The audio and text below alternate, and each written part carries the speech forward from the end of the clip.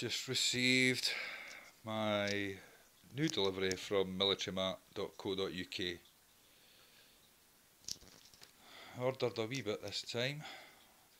Boots, rucksack, couple of pan sets, stove, Mora light my fire knife, paracord, French pan set, entrenching tool, and a couple of bottles of meth. Only seen one problem so far, which is the light my fire Mora knife, light green,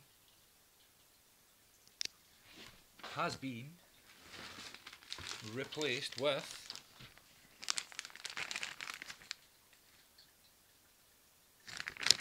a light my fire Mora spork.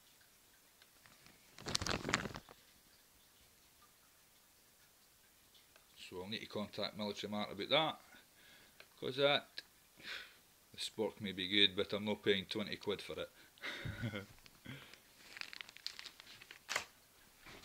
Everything else seems to be there apart from my tarpaulin which is out of stock. So I'll be contacting Military Mart right now and I'll see what they say Thank you. Catch you soon.